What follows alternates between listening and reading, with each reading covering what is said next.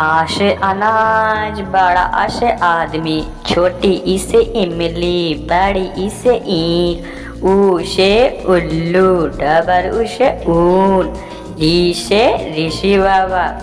ऐसे एड़ी ऐसे ऐनक ओशे ओम ओशे औरत अंकमन अंगुली अंकमन आहा